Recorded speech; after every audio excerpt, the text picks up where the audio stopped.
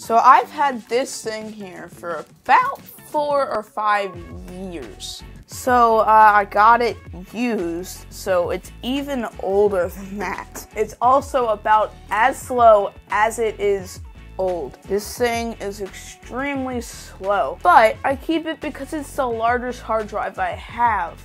I have two 250 gig hard drives in my computer, and I have this thing. And this is a 500 gig drive. It's just slow, and I need more hard drive space, and I need a faster one. So I got this.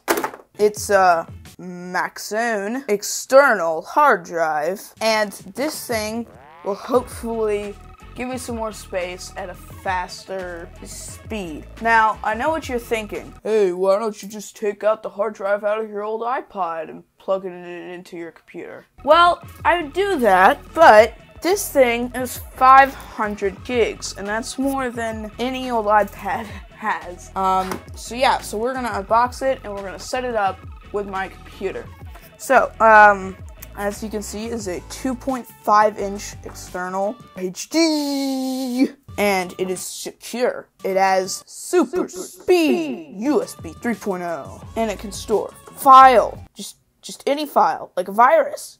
USB 3.0 super fast transfer speed.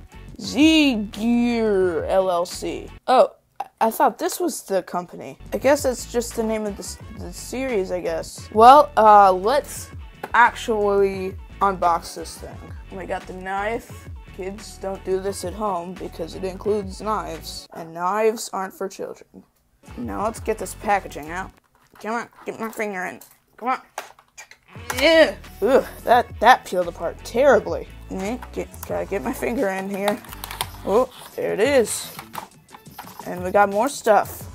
Okay, so in here we have this hard drive. Oh, oh, oh, that is not coming out easy. Come on.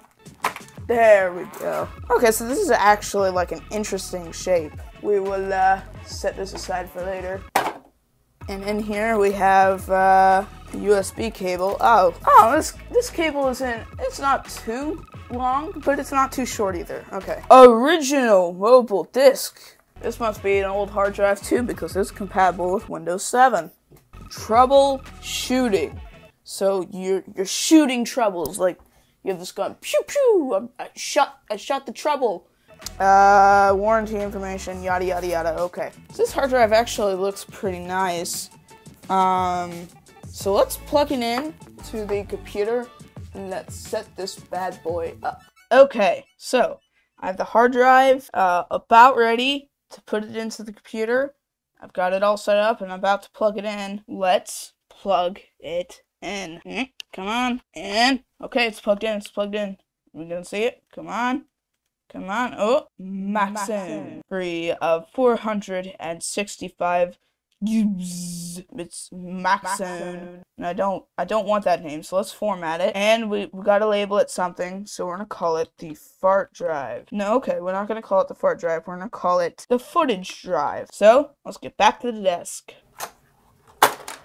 Well, that's it. Thank you guys for watching. Make sure you like and subscribe and check out some of my other videos. Uh, this was really fun to do and uh, make sure you subscribe. I want to start making money on YouTube so I can start bringing more content like this to you guys. So thank you guys so, so much for watching, and uh, peace.